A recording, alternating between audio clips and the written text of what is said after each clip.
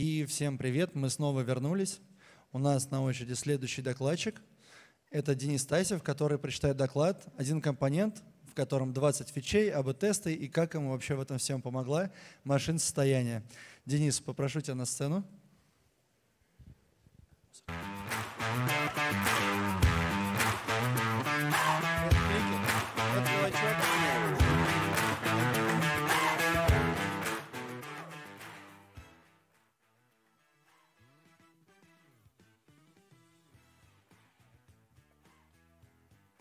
Раз. А включите, пожалуйста, спикер микрофон, будьте добры. Скажи что-нибудь. Раз, раз. Сейчас у нас прям небольшая заминочка, прям вот минутку прям. И вот мы сейчас... сейчас раз, раз. Супер. Ну давайте еще раз. Всем привет, меня зовут Стасев Денис, я являюсь секс-сотрудником компании ВК, и сегодня я расскажу вам э, небольшую историю об одном блоке компонент, э, блоке на главной странице Mail.ru. И, собственно, мы узнаем, поможет ли нам машина состояния для того, чтобы провести одновременно более 20 АБ-экспериментов. А, собственно, в начале рассказа хочется поговорить немного о продукте, о его специфике, о каких-то своих э, тонких аспектах. Главная страница Mail.ru — это тот сервис, которым пользуется более нескольких миллионов человек каждый день. То есть каждый человек заходит на наш проект для решения каких-то своих определенных задач.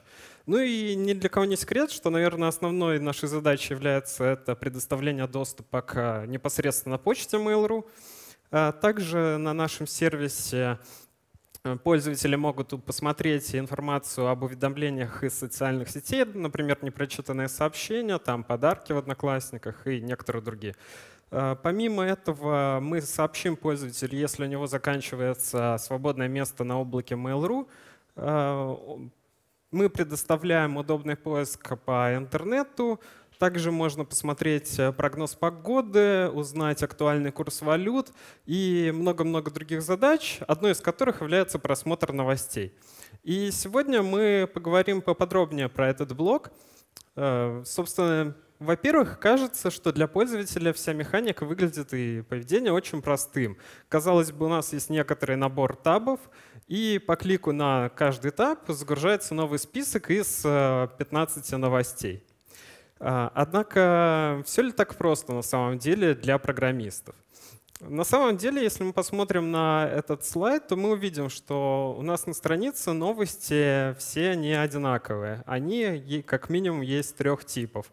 Это основная новость, которую вы можете видеть, э, есть картинка и некоторое описание. Дальше есть обычно новости, которые представляют из себя только заголовок. И внизу вы можете видеть, есть еще ряд новостей, которых есть некоторый шильдик дополнительный.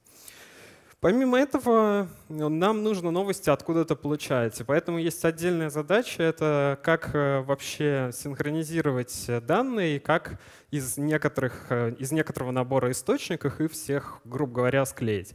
Однако эта задача решается на бэкэнде, поэтому она здесь в скобках. Э, после того, как мы получили некоторую условную функциональность, нам хочется понять вообще, какие новости актуальны какие новости нет. И для этого нам нужно как-то собирать аналитику. Это одна из задач. Помимо этого, если мы вернемся к списку табов, то мы уже здесь можем заметить, э, что у нас есть некоторые региональные табы, и, например, в Москве надо показывать региональный таб «Москва» с актуальными для Москвы новостями. Для некоторых других регионов такой таб не нужен. Для некоторых этот таб нужен, ну, соответственно, для их региона. А, кроме этого, у нас есть некоторые анимации, такие как появление новости из, вот, из забеления — и при обновлении новости синей анимации, синей подсветкой мы показываем, какие новости новые. А, кроме этого, у нас мы рисуем скелетоны в момент загрузки новых новостей. А, у нас адаптивная верстка. Что это значит? Что на разных разрешениях экрана мы показываем разное количество новостей. А, кроме этого, в предыдущих там анонсах в прошлом году мы рассказывали, что у нас появился SSR, сервер-сайт рендеринг. Э, ну, помимо этого, надо как-то вообще мониторить э, состояние всего этого блока и компонента, надо понимать, есть ли ошибки в данных или нет. И таких задач еще несколько десятков, и кажется, что это немного сложно. Да, уже сейчас э, блок новостей выглядит не совсем простой задачей, но это, в принципе, решаемая задача. Мы с ней спокойно справлялись, и все было хорошо. Тут нужно еще сделать небольшой акцент и отступление о том, что э, так как на нашим проектом пользуется огромное количество пользователей, то это накладывает высокую ответственность на всю команду. И это говорит лишь о том, что все изменения, которые могут как-то повлиять на жизнь людей, их пользовательский опыт мы должны выкатывать плавно для того, чтобы их э, не нарушить поведение. И поэтому у нас все продуктовые фичи выкатываются через э, тестирование. Это может быть АБ-экспериментами, ААБ-эксперименты, АБЦ-эксперименты и так далее. И лишь после того, как мы тщательно просмотрели аналитику по какой-то новой фиче, мы ее раскатываем на более высокий процент. Собственно, почему для нас в контекстах э, рассказа это важно? Потому что одновременно у нас могут быть э, э, включено несколько АБ-экспериментов, несколько фичей, и вот это вот пересечение в будущем стрельнет в определенный момент в докладе. И в моменте там больше года назад мы задумались, как сделать главную страницу еще лучше, еще удобнее, и одним из направлений работы стало улучшение персонализации. Так появилось несколько задач. Ну, во-первых, захотелось попробовать интегрировать новую систему рекомендаций новостей, Э, также захотелось ну, менеджерам добавить некоторое дополнительное количество отображений новостей, посмотреть, в каком виде пользователям удобнее пользоваться продуктом. И также, поскольку мы добавляем системы рекомендаций, по сути для нас они являются источниками, то хотелось попробовать добавить и новые типы данных, новые типы новостей, которые бы как-то особенно обновлялись и отображались. Итак, мы переходим к первой главе, которая названа «Сигналы скорого бедствия». Не случайно. А, и, по сути, мы получили задачу внедрить новую систему рекомендаций. Как я сказал, по сути, новая система рекомендаций — это новый источник новостей. И нам было очень важно как можно быстрее запустить эту фичу. Поэтому был принят подход а, минимальными изменениями существующей кодовой базы достичь этого. Ну и вот на данном слайде вы можете видеть пример. А, тут надо отметить, что мы, мы, наш проект сделан на SVLT, и в SVLT есть свой шаблонизатор HTMLX, и это, собственно, пример на этом шаблонизаторе. И, собственно, это пример условный абсолютно, как можно было бы реализовывать блок новостей. По сути, через each написан некоторый цикл в массиве, который просто рисует каждую новость. И тут можно заметить, что есть некоторые условия, ну, например, из loading, которое как-то добавляет класс news item loading, э, который анимирует там новость. И важное напоминание, что помимо загрузки новостей, вначале я рассказывал, что у нас есть еще и разные типы новости. И они также влияют на и наш исходный код, и поэтому в действительности, добавляя поддержку типов новостей, мы добавим сверху некоторые условия на третьей строчке. Если тип э, у конкретной новости равен определенному, например, она с картинкой, то у нас в шаблоне добавится некоторый имидж э, и некоторое описание. И так мы можем посмотреть на все условия или на часть условий, которые влияют на отображение. То есть это сам тип новости, это статус загрузки новости, о чем я сказал, тип появления, об анимация, либо появление новости, э, новость отображается на главном табе и так далее. То есть таких условий уже есть какое-то количество, и хочется тут задать вопрос, вообще все ли с этим хорошо. У нас очень много различных переменных, которые как-то влияют на отображение, и все это в верстке. Чуть позже ответим на этот вопрос.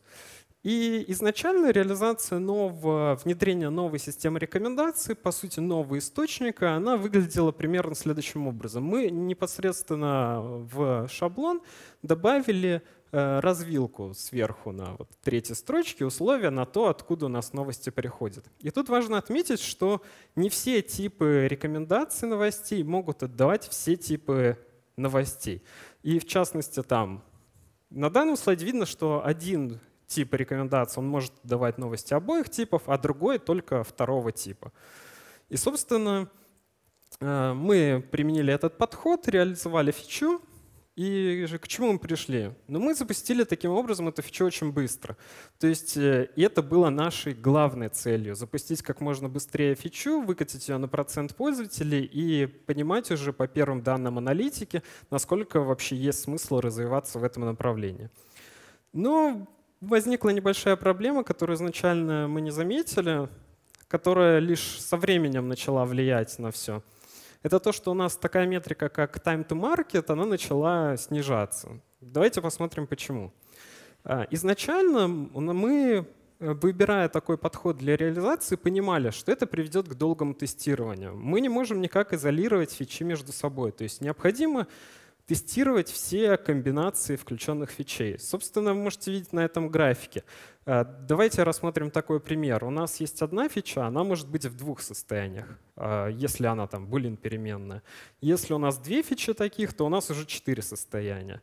Три переменные, у нас восемь состояний. Мы получаем экспоненциальный рост времени тестирования от количества этих фичей. Однако нам хотелось бы эту зависимость несколько слинеить, потому что, да, если бы у нас была одна фича, проблем бы не было, но у нас фичей десятками. И поэтому для нас это действительно было важно. Но мы на это осознанно пошли и решили это мы тем, что стали писать на фичи ну, больше автотестов, которые бы это все упростили. Однако проблема заключается в несколько другом. То есть время тестирования начало расти, это для нас было как бы предсказуемым, однако начало расти и время разработки. То есть сначала, вот здесь синим выделен график, Э, у нас время разработки первой фичи было очень маленькое, и, соответственно, скорость высокая. И со временем скорость начала резко-резко снижаться, однако нам хотелось бы несколько спрямить график и э, сделать так, чтобы и десятая фича по скорости ее реализации не сильно отставала от э, первой фичи. И, собственно, так мы перешли от быстрой разработки, быстрого тестирования к долгой разработке и к долгому тестированию кажется, что-то идет не так. И вот э, примерно так мы себя ощущали, как этот парень на тонущем судне. И, собственно, что вообще стало для нас кругом спасения? Кругом спасения стало внедрение машиносостояния.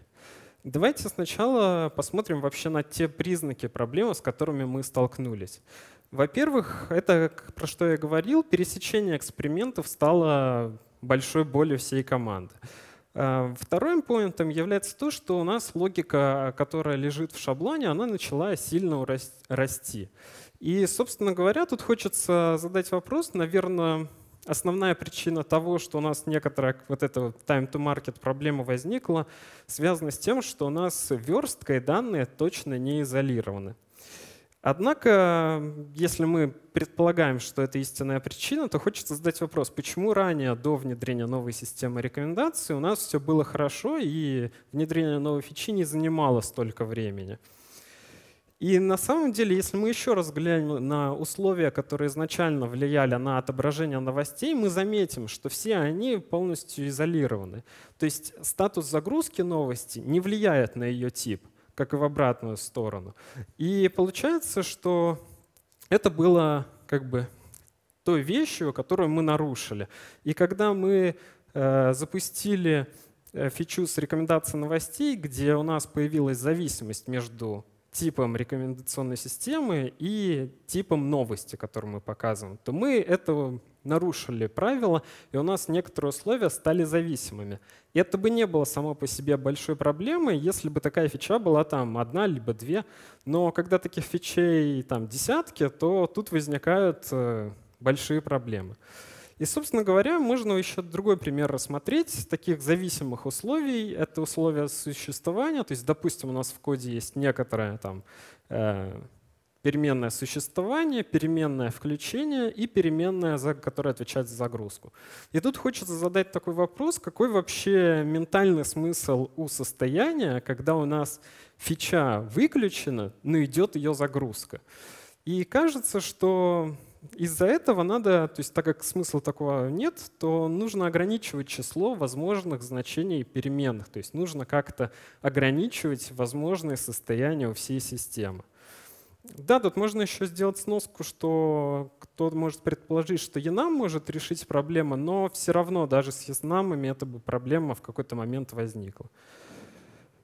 И все-таки то, что вот мы говорили про то, что у нас логика в шаблоне начала расти, это, в принципе, тоже проблема, которую также хотелось бы решить, потому что, да, она непосредственно не сильно влияет на время тестирования, однако она влияет на скорость чтения кода. И это хотелось бы тоже минимизировать. И поэтому наше решение мы построили, исходя из э, двух основных вещей. Это необходимо было отделить данные от верстки полностью и ограничить число валидных состояний данных в системе. И для решения первой вот этой подзадачи по изолированию данных от отображения мы внедрили архитектуру MVC. Она довольно широко известна, но, в общем, коротко в ней три основных компонента. Это вид, это отображение, по сути, это верстка, которая ничего не должна знать о данных. Это некоторый компонент-контроллер, который э, обрабатывает события, которые влияют на данные, а данные сами хранятся в модели. И, по сути, модель, которая хранит данные, является некоторым хранилищем. Именно для нее нам нужно как-то ограничивать было число валидных состояний и сами эти состояния. И когда мы говорим об ограничении числа состояний, ну, логичным всплывает идея использовать машину состояния. Собственно, на этом слайде несколько переформулированы определения из Википедии. Тут важно отметить следующее, что машина состояний — это некоторая абстракция. Эту абстракцию вы в коде дальше будете как-то реализовывать. И сама по себе она как бы из себя представляет некоторую модель устройства, у которой есть вход — один какой-то, один выход и некоторое текущее состояние.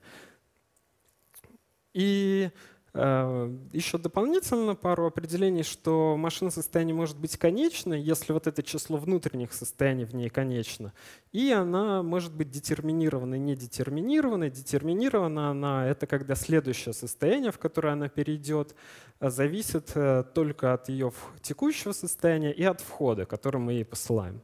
Ну и, в общем, в научных статьях э, вообще машины состояния представляют э, совокупностью ну, некоторых множеств функций. Но на этом мы не будем останавливаться, поскольку на практике более часто используются два основных представления. Это либо таблица переходов, которая как раз описывает вот эти переходы между состояниями, и, табли... и некоторый граф переходов. Давайте на графе остановимся подробнее. Собственно, на этом э, слайде есть рисунок с описанием того, как устроена лампочка в модели, если ее представлять моделью машины состояний. У нас у лампочки есть два состояния. Свет горит и свет выключен. Соответственно, on-off.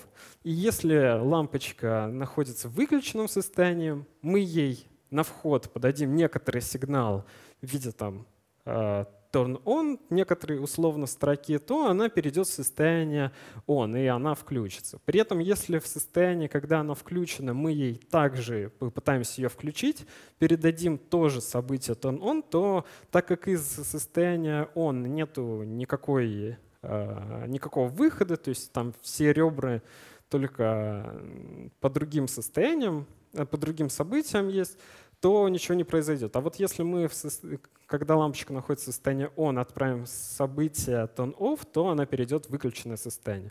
Ну и, собственно, этот граф, э, его не обязательно вручную рисовать, есть множество разных инструментов, также он стандартизирован, и, в частности, его можно даже в UML э, рисовать, как это на этом слайде представлено. И после того, как мы как-то поговорили про граф, необходимо, хочется перейти к реализации, и хочется начать реализацию с выбора какой-то библиотеки, потому что кажется, что мы какой-то граф вот тут рассмотрели, он это довольно сложно, наверное.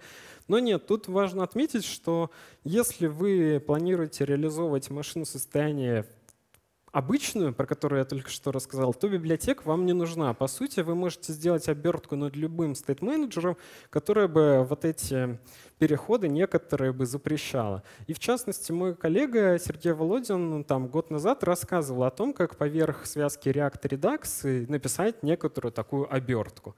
И ну, если прям сильно хочется, то есть ряд библиотек, ну, например, Robot 3, они весят порядка одного килобайта, которые позволяют э, ну, которые реализуют машину состояний в таком описанном виде. И важно отметить, что какие-то более мощные библиотеки, о которых мы поговорим чуть позже, они для таких машин состояний не нужны. И когда их применяют, это делают ну, избыточно. И, собственно говоря, э, собственно говоря, вся реализация машины состояния сводится к разработке этого графа.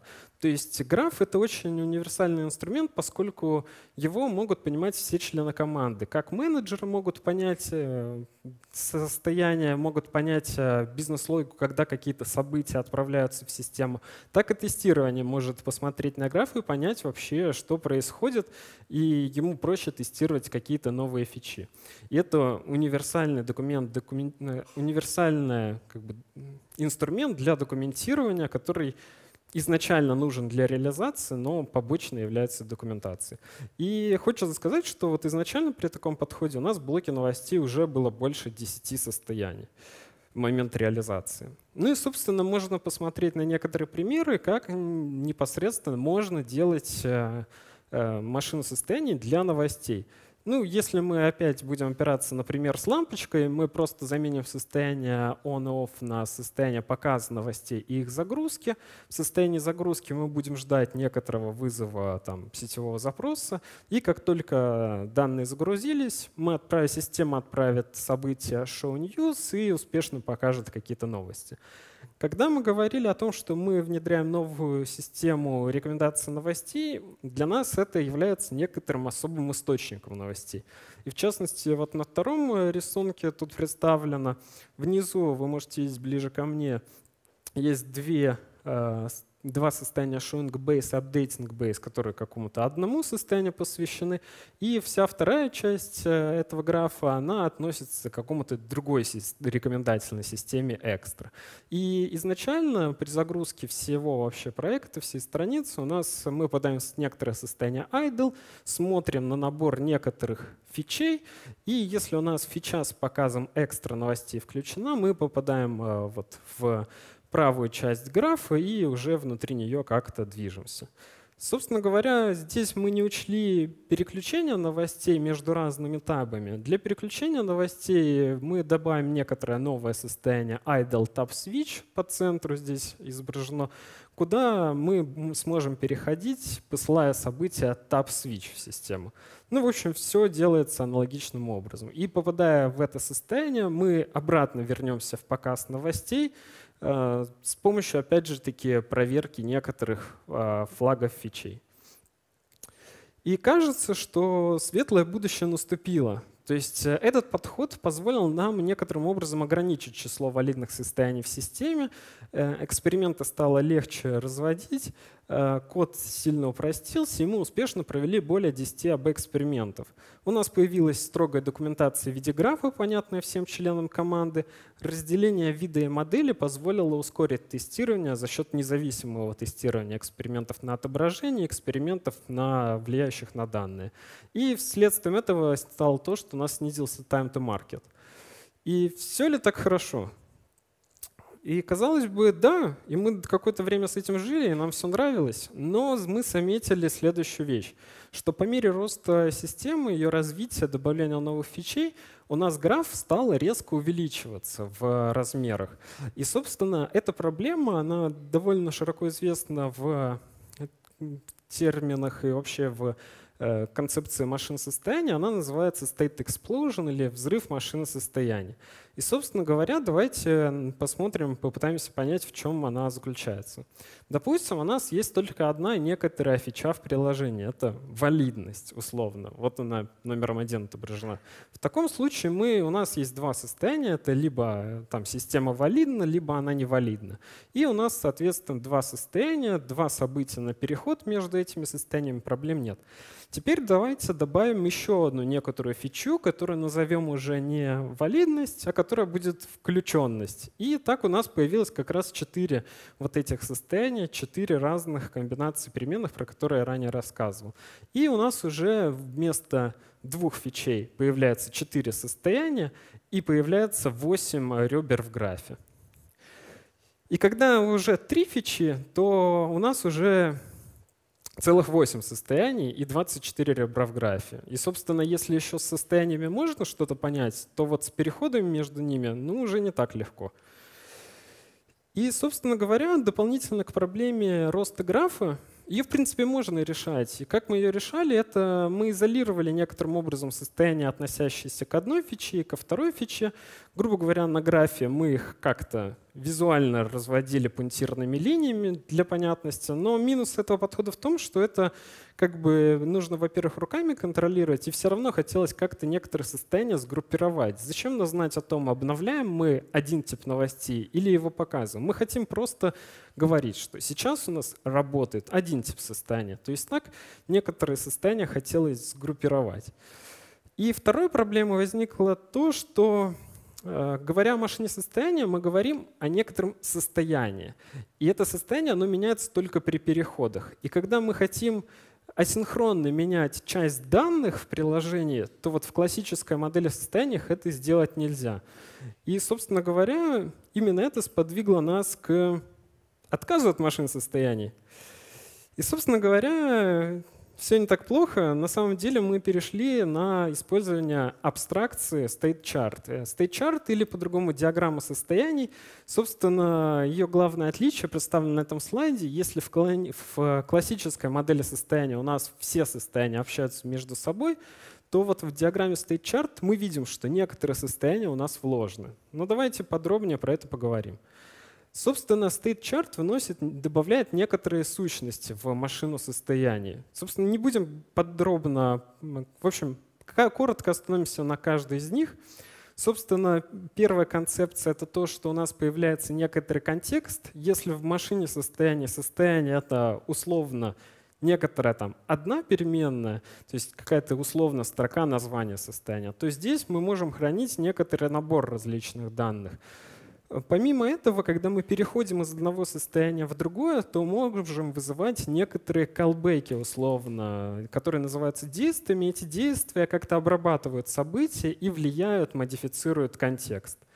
Но это мы говорим только, когда мы уже перешли в состояние. А если мы хотим ограничить переходы, то можно накладывать некоторые условия на переходы, и это называется концепция условным переходом. И по сути вот то, про что я говорил по включению фичей еще в машине состояния, это уже выходило за рамки классической машины состояния.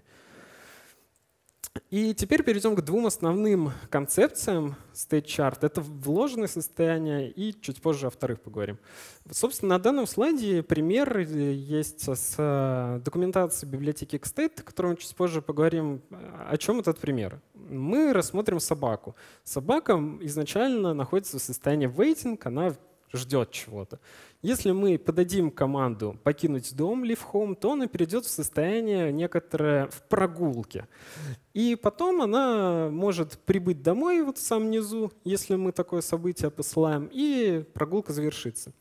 Но когда собака находится в прогулке, она может просто идти, она может остановиться, а может побежать. И, собственно, э, вот это состояние в прогулке, оно в себе инкапсулирует три других состояния. Это walking, running и тем самым, как бы находясь в одном супер состоянии, собака может э, внутри себя как-то э, менять состояние.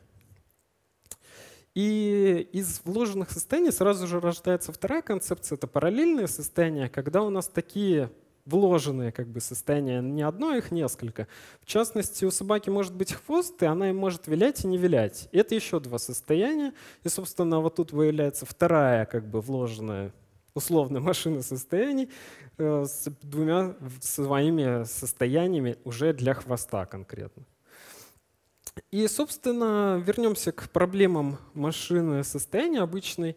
Э, мы можем понять, что концепция вложенных и параллельных состояний полностью решает две последние проблемы про синхронное обновление части стейта и про то, что некоторые состояния хотелось сгруппировать. Однако остается проблема с э, взрывом машины состояний, но на самом деле тут надо сказать, что сама диаграмма chart, она была придумана для решения как раз-таки этой проблемы. И вложенность состояний и их параллельность — это следствие решения проблемы взрыва числа состояний. И, собственно, как эта проблема решается? Решается она очень просто создаются вложенные параллельные состояния для конкретно каждой из фич. И тем самым они, по сути, становятся независимыми, и это позволяет сильно снизить размер графа. И таким образом э, модель State Chart она решила все наши проблемы, которые, с которыми мы столкнулись, э, реализуя и внедряя машину конечных состояний. Теперь перейдем к реализации в коде э, такой диаграммы State Chart состояний. Самым, наверное, популярной библиотекой для ее реализации является Xstate. Почему она набрала популярность? Она набрала популярность, потому что она Э, по своему дизайну задумана как реализация математической абстракции state chart. То есть все вот эти вещи, как контекст, условные переходы, э, вложенные состояния, параллельные состояния, она все их реализует. И она опирается в своей идеологии на некоторую научную статью, Э, который как раз ты чарты был предложен. Помимо этого, она имеет очень развитую инфраструктуру. То есть там есть расширение для хрома, для просмотра графа прямо в проекте э, в VS Code. И у нее недавно появился еще очень удобный инструмент, визуализатор Stately, который мы чуть позже тоже рассмотрим. И также в ней есть некоторые дополнительные фичи. Например, можно при загрузке приложения брать сохраненный стейт из local storage. И, собственно, синтез X-State, мы на нем не будем подробно останавливаться. Коротко скажу, что вот здесь можно увидеть, что изначально тот граф, который мы нарисовали с помощью какого-то описания на языке UML, в Xstate он представляется, опять же таки, примерно таким же форматом. Там есть некоторая особенность по просто преобразованию форматов, но по сути это то же самое. Если мы вот этот код из Xstate попробуем визуализировать вот в этом визуализаторе Stately, то мы как раз-таки получим схему на правом стороне слайда, которая по сути один в один повторяет тот граф, который мы изначально имели.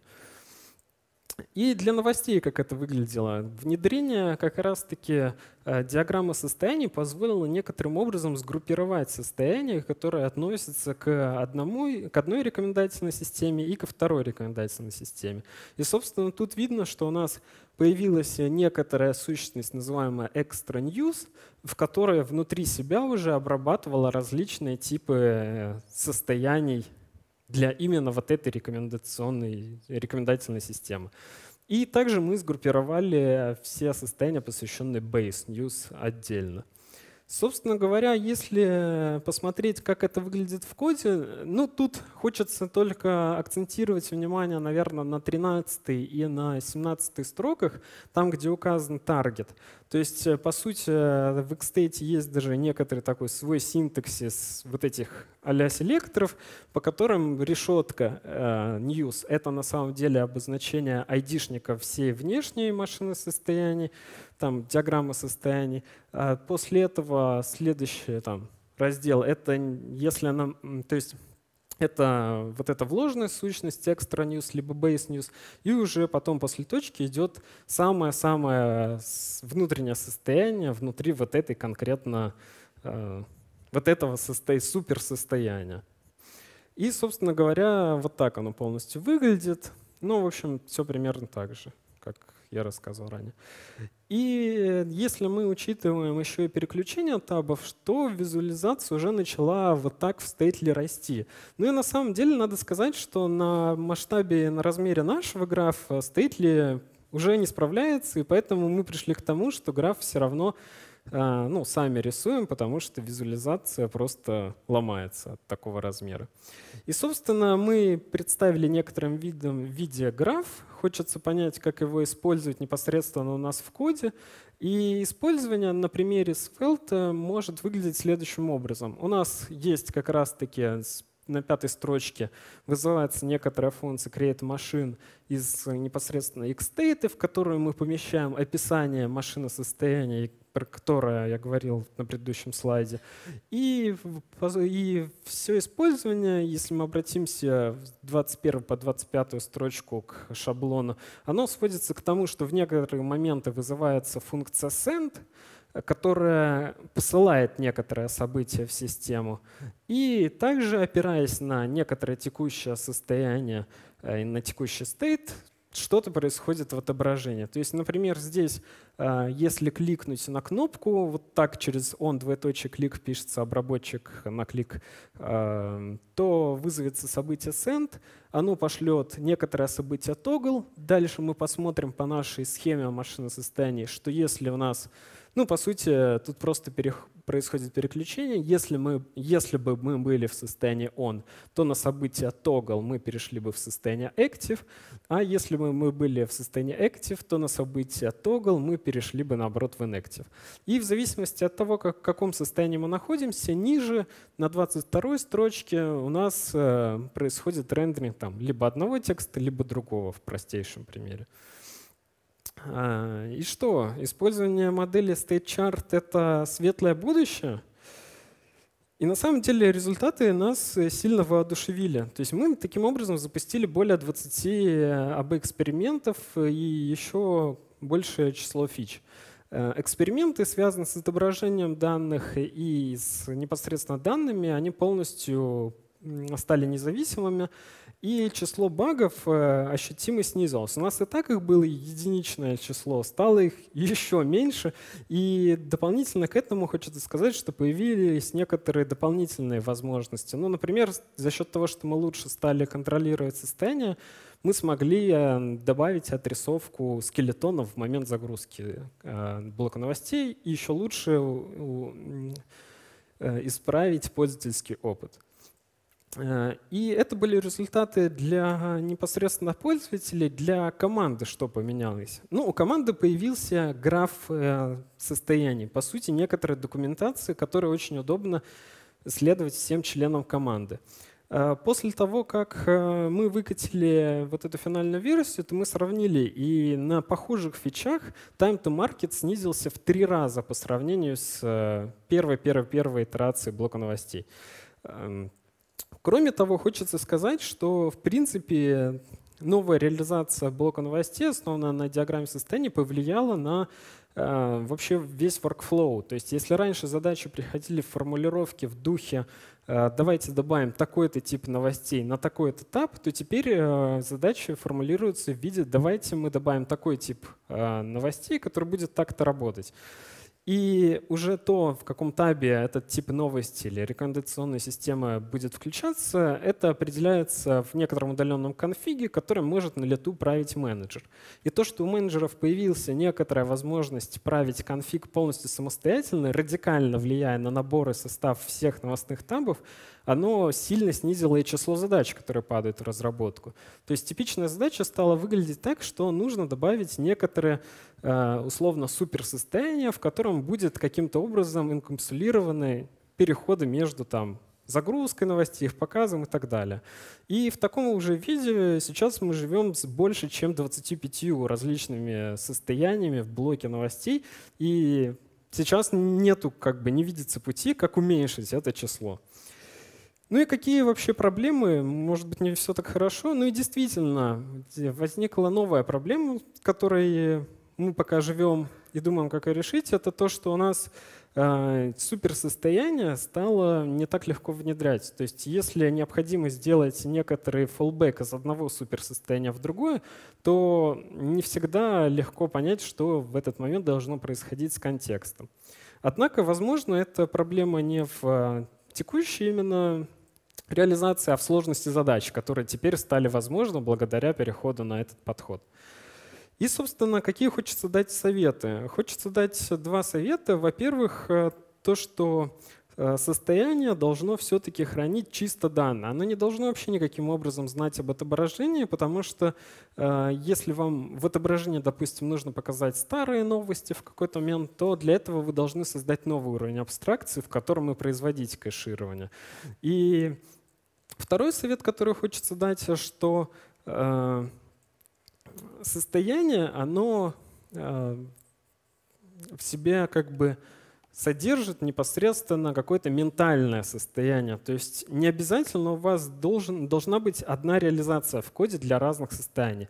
Ну, например, вы можете использовать там разный транспорт, по-разному абсолютно делать запросы в одном и том же состоянии, потому что состояние у вас — это загрузка новостей, а как оно происходит, это уже как бы Это уже не работа с данным, не работа с состояниями, это чисто вопрос реализации. Ну и выводы. Вот примерно такую машину мы получили в конце концов. Этот лайнер нас полностью устраивает. Да, надо отметить, что он большой. То есть человек, который туда первый раз попадает, ему нужно разобраться какое-то время в навигации. Но как только он разберется в навигации, поймет, как все устроено, то он очень быстро сможет и уверенно двигаться вперед, в принципе, в большом комфорте. Ну и закончить хочется словами одного проектировщика взаимодействий, что суть хорошего программирования в отсроченном вознаграждении. Собственно, как у нас и получилось. Спасибо за внимание. Буду рад ответить на ваши вопросы. Спасибо. Слушай, забористо получилось. Пойдем присядем. Угу. Там в чате полно вопросов. Сейчас я их буду читать. Я в какой-то момент, знаешь, уже такой слушаю историю, думаю, блин, неужели ты во второй раз откажешься от состояний, и это будет поучительная история, а не история успеха? Но нет, но нет. Так, зал полусфера. Ага. А, первый вопрос. Там некоторые вопросы поступали mm-hmm. сильно раньше, ну, чем мы зак... да, да. закончили доклад, поэтому вполне может быть, mm-hmm. что ты на них уже ответил. Думали ли, делали ли вы автогенерацию графов? Код генерации из графов, генерация тестов из графов. Очень описание похоже на контракты UML или описание описывает, но не привязывает к реализации. Собственно, делали... А вот про тесты? Про тесты нет. Тесты — это на самом деле до сих пор такая вещь, которую ну, нужно каким-то образом автоматизировать их как бы создание. Но это да, это один из вопросов. Супер, да. Следующий вопрос. Да, кстати, еще важно, я забыл сказать то, что по итогу нужно будет выбрать вопрос, который mm-hmm. больше понравился. Поэтому может мне сигнализировать, я буду помечать. Mm-hmm. Вопрос. А как вложенные состояния влияют на родительские? А, надо сказать, что вот когда мы внутри, в общем, когда у нас есть, у нас есть суперсостояние, которое является... Ну вот давайте вспомним пример Сейчас я подумаю, как бы так объяснить. Ну, вот собака, я думаю, самый понятный будет пример. Когда собака находится в прогулке, и она то ускоряется, то останавливается, она же все равно находится в прогулке. То есть вот это родительское состояние или суперсостояние, оно не меняется. Меняется именно поведение внутри него. Вот. Ну да, а, Как, как тогда сделать так, да. чтобы собака сама решила, что прогулка закончилась? Вот это имеешь в виду, чтобы не снаружи ей это пришло? Можно реализовать так, что и собака сама решит, что прогулка закончилась. Но это чисто зависит от бизнес-логики. Но вот для нас э, больше актуально, наверное, что человек ее домой поведет. И если человек ее поведет домой, ну, значит, человек как-то скажет собаке, грубо говоря, что мы идем домой, то есть отправит события. И э, как и важно отметить, что вот это событие, что мы идем домой, оно может быть отправлено как в суперсостояние, так на самом деле оно может быть и внутрь отправлено вот каждому внутреннему состоянию. Но это, в общем, наверное, уже детали. Тяжело так будет объяснить. Ну, это, наверное, такой uh-huh. как раз вот узкий разговор uh-huh. для клуаров. Так что, если что, подходите, общайтесь. А, далее у разных родительских состояний могут быть общие, одинаковые вложенные состояния или, угу. или их наборы. Сталкивались ли с таким на практике? Если да, не возникнут ли сложности проблемы? Угу. Ну, наверное, собственно, если возникнут, то как это да, решать? Да. Ну, по сути, у нас части так и сделано. То есть у нас все равно есть э, там пару состояний, которые ну, не полностью повторяют друг друга, но частично похожи. Но, собственно, кажется, что никак не решать. То есть вы можете этот код э, там упростить в схеме, то есть просто вынести там генерацию какой-то части графа в отдельную функцию. Так вы в э, самом описании схемы ну, снизите объем. Но то, что эти состояния все равно будут, ну, кажется, что это должно остаться, и с этим ну, ничего не сделать. То есть тут нет проблемы в том, что они есть. Есть проблема как раз-таки, если вам нужно сохранить вложенность, э, сохранить часть данных при переходе из суперсостояния в другое суперсостояние. Но тут, наверное, не попробовав самому вот это поделать, не понять, наверное, так, о чем я говорю. Потому что тяжело объяснить. Да тема вообще нелегкая, я тебе скажу. Я вот поглядел по залу, все сидели со сложным лицом и думали об этом. То есть это не такая тема, которую между делом, за обедом можно mm-hmm. послушать. Хорошо. А, следующий вопрос. Есть планы визуализатора протюнинга до конструктора, чтобы продукты или аналитики могли сами менять состояние? А, ну, в принципе, да. То есть и сейчас уже так происходит. То есть там, условно говоря, даже э, вот э, как бы да, тут надо сказать, что все, конечно, от менеджера и от аналитика зависит, это его умений. Но как бы если человек там условно сможет... Э, то есть тут главное продуктово придумать, как это должно работать. А поменять это, ну, он может, вот мы можем ему диаграмму предоставить в виде там, не знаю, в любом рисовальщике диаграмм. И он там сможет, конечно, как захочет поменять. Ну, то есть, типа, нету смысла делать свой рисовальщик, можно сказать, вот тебе UML, иди там поредактируй и возвращай обратно. Ну да, по сути, UML отличный инструмент для этого. Есть вот Stately второй инструмент. Там даже покликать можно и посмотреть, как работать прям будет. Да, как да, поменяется. Супер. Окей, следующий вопрос. Как Xstate работает с типизацией через TypeScript? Можно ли типизировать события для переключения между ними? Угу. Ну, на самом деле, там у нас были некоторые проблемы с типизацией, но нормально. То есть там просто надо... Как? На самом деле мы смогли типизировать события, поэтому ну, особо, как бы есть проблемы с тем, что там тайпинги, может, не супер простые, но оно пишется, в общем. С этим проблем там нет. Ну, то есть ты имеешь в виду, что вот эту вот структурку на уровне выведения типов, угу. начинаете просто ее лопать, и в какой-то момент вы получаете э, дерево сопоставлений в каком где что можно, куда где Да, да, да, да. То есть прям события типизированы. Вот. Ну, это очень хорошо, потому угу. что это как раз упрощает. Если динамичное э, состояние, условно, угу. время времени меняется, то как раз код, чтобы краснел, это, мне кажется, прям очень важным. Даже, наверное, чуть ли не блокером. Угу. Вы это сделали в первую очередь? Ну, да, да. А ну, мы его сделали в первую очередь, потом оно поломалось, мы его починили. Ну, все как у людей, собственно, да, ничего нового под луной. Отлично, следующий вопрос.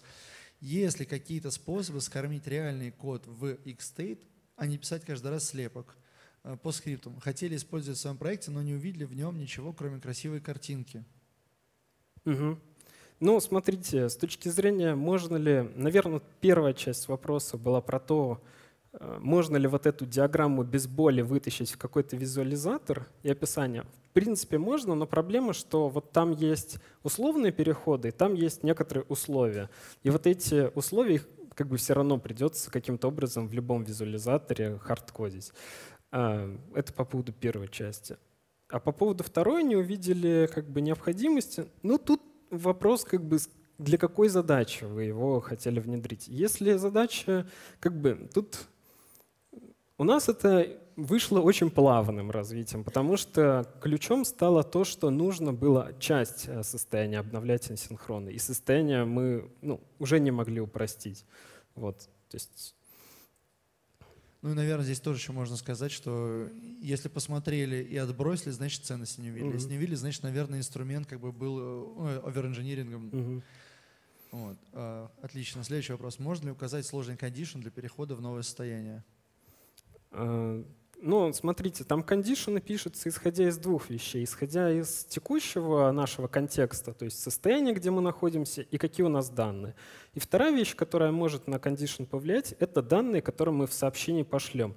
Здесь в рамках презентации я на это не делал упор, то есть мы слали просто строчку в виде некоторого события, однако на самом деле там можно и данные передавать. И вот у нас как раз часть сложности всей нашей системы с тем, что мы там разные типы новостей еще передаем. Поэтому, то есть можно по-разному писать, абсолютно сложно, это без проблем. Да, и у нас вот время подходит uh-huh. к концу, посему последний вопрос. Сейчас я вот выбрал. Не кажется ли, что разросшееся количество экспериментов, особенно вот так вот пересекающихся, это результат хромающей бенслойки? Ну, так может показаться со стороны, но на самом деле там есть свои причины, почему так сделано. И ну, если бы мы, если бы мы могли и хотели упростить, мы бы упростили. Но там как бы такой космолет, что там проще сделать нельзя, потому что ну, своя специфика вообще. Если бы мы знали, что это такое, но мы не знаем, что это такое, да. Супер, спасибо тебе большое. Давай выберем, значит, самый интересный mm-hmm. вопрос. А, какой вопрос тебе понравился? Ну, там было много интересных вопросов. Был э, составной вопрос про, э, про условия. Вот он его можно. А Как, как оно, э, можно ли указать сложный кондишн для переходного состояния? Это про условия? Или... Нет, там вот два было вопроса. Так. одно. Чуть выше. Да. А какой- каким он примерно был по счету? Не так далеко, как ты листаешь. С начала или с конца? Не, с конца. Вот. С конца. А, а, вот сложный кондишн. Потом э, можно ли скормить реальный код X-State. Потом э, про TypeScript. А, Потом про планы визуализатора. Потом у разных состояний могут общее одинаковое вложенное состояние, набор состояний. Вот, этот. Э, Супер. Михаил Горожанин. Отлично. Да. Вот. А тебя мы хотим поблагодарить. Большое тебе спасибо за выступление. Вот, давайте Спасибо. что же по- подарим подарочек.